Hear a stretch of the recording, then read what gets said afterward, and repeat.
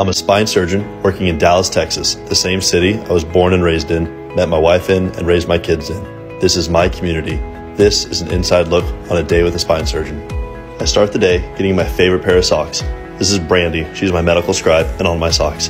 I then get my scrubs and I start to head out the door. It's an operative day, so when I get to my car, I put on my work boots, put my dress shoes back in the car. I'll get back to those. Check the time, 5:30. It's good for an OR day get the music ready, drive into work, and then I get there. Key part, making sure I look good in the elevator. Go check on some patients from the night before.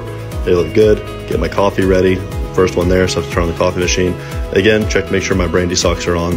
From there, I get ready for the day. Give myself a thumbs up. I go into the OR. I review the cases. This first one's a pars fracture, L4, L5, has spondy. I'm to stabilize this area. I'll show you more on that later. I do a lot of minimally invasive surgery, so I want to make sure that I have all the right tools to keep my incisions small and recovery fast. I'll scrub in for my surgery, and from there we get to work. Some surgeries are just 45 minutes, others could be 10 hours. It just depends on the pathology. When I'm done, check x-rays, I break scrubs, then I can do a couple things. I go down the halls, I go see some awards that some of our favorite staff members are getting, then I'll go check in patients for the next case, go meet their family members. From there, I go again, check the tools for the next case. I do the next most important thing, make sure we have the right music. I love Garrix, I love EDM. I have another two surgeries after that, and now I'm going to take you through what I did today. The first patient had a pars fracture, had bone on bone slippage. I did an ALIF with percutaneous fixation. The next patient had two big disc herniations. I did a two level disc replacement in the neck.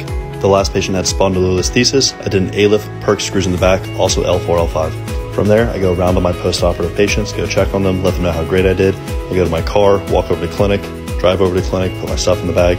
My clinic's a nice, beautiful building, very happy about that. Go see some patients here. Not a full day, it's just kind of half day afternoon clinic. We'll go see some patients. I see one of my favorite patients. She let me do this video. Very happy with her outcome. Gives me a big hug, makes me happy.